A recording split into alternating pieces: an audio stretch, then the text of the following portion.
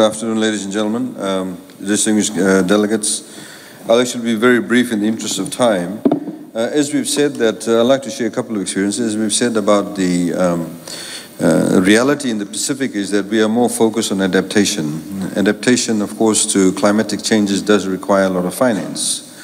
And from one perspective, of course, there's been a lot more focus on mitigation. And this is where we've seen majority of the funds in the climate change space actually go towards. So the, the task, I suppose, for us, in particular Pacific Island countries, is to be able to attract finance or private sector finance in the adaptation space. Now, recognizing this uh, from COP23, we had the Drua incubator uh, that was uh, actually formulated and indeed set up. And the idea is to bring about a scalable finance and insurance products for the Pacific region to be able to make it available uh, to Pacific Island countries. In order to be able to talk about private sector finance and how do we actually attract that and indeed how we actually become innovative about uh, financing mechanisms, I'd like to very quickly share a couple of the um, finance uh, frameworks that we actually have put in place in Fiji. As we, the much talked about green bond, we're the only um, uh, emerging economy that's actually got a green bond, sovereign green bond. It's been listed in the London Stock Exchange. A lot of it actually has been done because of the fact that we've been innovative about it. We've actually reached out to a number of players. We worked together with World Bank.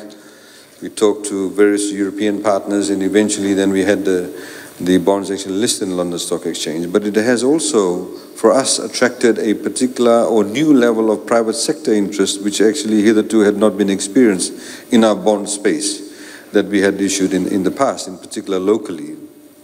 Uh, secondly, of course, we've uh, we put in place the Environmental and Climate Adaptation Levy, uh, in which we expect to raise approximately uh, close to $150 million uh, this year, in the in incoming financial year, I should say.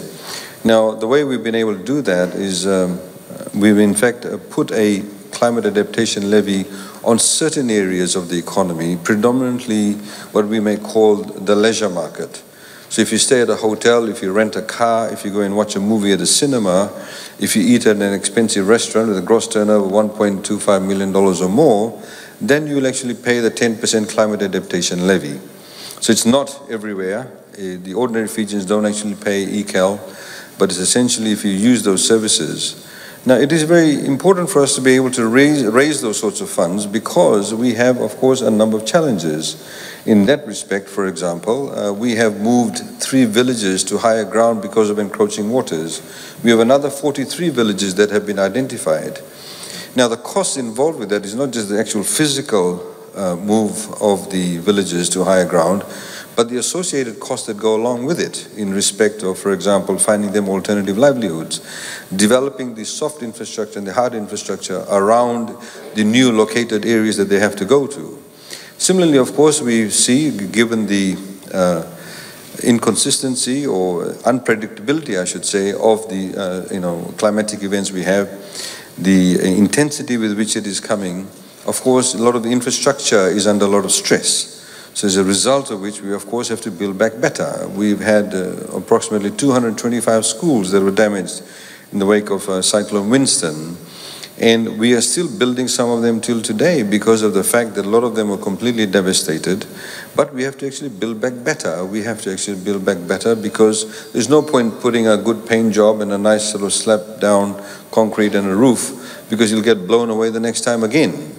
So the, the point is about putting investment in that space. Now this is of course raising uh, funds through those fiscal uh, initiatives that we've undertaken.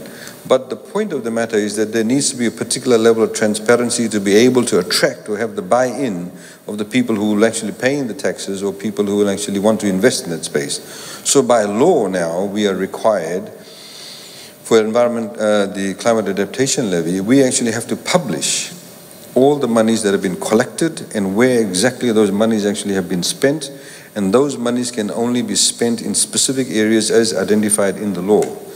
And therefore, you also have to, for example, do publications, uh, put it up at the airports, etc., so people know exactly where their dollar is going to. So in that way, you are able to get a lot more traction and a lot more buy-in by the people who are actually going to pay those taxes. Uh, similarly, of course, we have to ensure that uh, uh, with the green bonds even, we have third-party validation. Uh, Sustainalytics, which is an independent European third-party country, uh, third-party uh, company that actually verifies the funds that have been raised through the bonds and how will those funds be spent and where exactly are they being spent. So it gives also the investors who are buying in the bonds, they know exactly this is specifically what it is being used for. So you may have, for example, you know, uh, superannuation funds that may have a particular mandate to spend in the, in the green space so they know that by investing in the bonds, they're actually doing the right thing and actually complying with the mandate that's been given to them. So these things are very, very important. But what I'd like to very quickly touch upon, and uh, perhaps food for thought for the other speakers, is that the, the reality is that many of the Pacific Island countries actually do not necessarily have the economies of scale to be able to attract private sector interest. So if you're able to, for example, if you want to set up, for example, a solar farm, the amount of space that may be available, the amount of acreage that may be available may not necessarily feed in, feed into the, what they will call a good return or bankable proposition.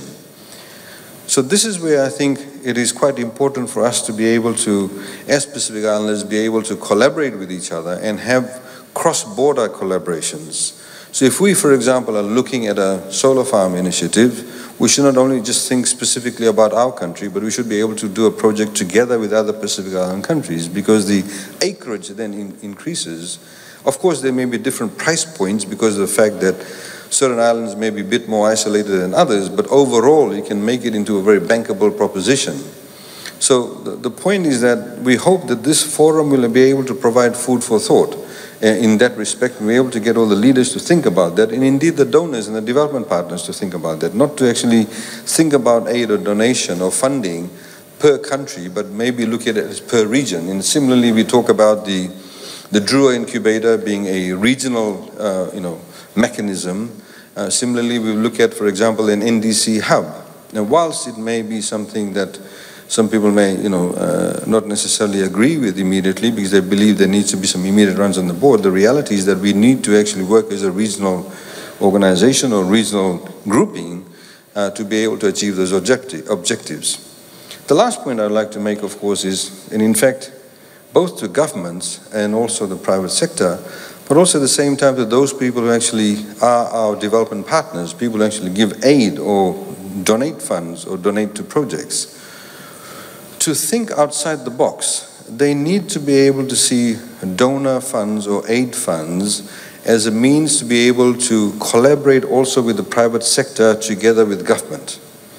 Now, traditionally, the way that, for example, our you know, countries that have donated funds in the Pacific, we all know they tend to be Australia and New Zealand and various other uh, countries on a bilateral basis. But I think it's also time for them to think that when they do give funds, they can actually contribute to some form of a financial mechanism that will help a country or group of countries to be able to leverage off that funding, or even indeed in the form of guarantees to be able to leverage off another third-party uh, funding to be able to then give rise to projects that are very, very critical. Now, you know, for example, if you talk about adaptation space, you know, building a seawall to stop encroaching waters may not seem to be very attractive to the private sector. Or uh, building a school or building a bridge that's been washed away because of, you know, rising seawaters or because the banks of the river have given away and the bridge actually collapses. These are very real issues in respect of adaptation. So the challenge though is, do we simply have somebody that comes along and says, we'll donate X number of dollars and you go ahead and build this bridge? Now, is that sustainable? Obviously, from a donor perspective, it's not sustainable if the bridge keeps on getting washed away. Or they have to do similar bridges across many countries. The point is, can we actually come up with a financial mechanism that helps, for example, put in place a blended finance approach? to various projects. We've had some forms of that where we've had, for example, Green Climate Fund to get, coming together with some, uh, you know, ADBs or the World Banks of the world, uh, or various other institutions that may collaborate to be able to come up and fulfill a particular required demand because of climatic changes vis-a-vis -vis a particular project. So I think the, the, the challenge to the donors and also the aid partners is to think about aid and donation as not something simply that you give to a particular project, but whether we can use those funds to leverage off into some form of sustainable program with the private sector participation, which may mean some form of cross-subsidization for the private sector organizations, but it could actually lead to a required or know, the stated objective of that particular program. And I think that's what I'm trying to get at. So ladies and gentlemen, with those sort of uh, few introductory remarks, I'd like to end there, but uh, say that it's actually very exciting. And I think um, we are very keen on the idea of having a collaborative approach in respect of cross-border uh, projects and cross-border financial arrangements to be able to address many of the adaptation issues that we do face today. Thank you.